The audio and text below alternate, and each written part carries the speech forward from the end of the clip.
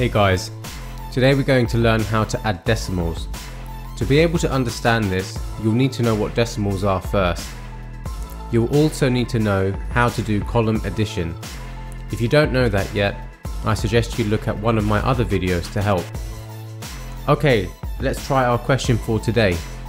22.73 plus 11.8. The first step is to put the numbers in the right columns and then we'll do the column addition. It's really important you put the digits in the correct columns. Put the tenths in the tenths column and the hundredths in the hundredths column. Also remember that the decimal point stays in the same place in every row.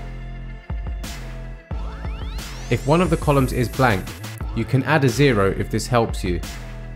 So adding from right to left, 3 plus 0 equals 3, 7 plus 8 equals 15, and then we carry the 1 to the left of the decimal point. 2 plus 1 plus 1 is 4. 2 plus 1 equals 3. So the answer is 34.53. If you want regular support from me to help you get the grades you want, why not join one of my weekly classes? It's very affordable and I'm running some free trials at the moment. Contact me if you want to find out more.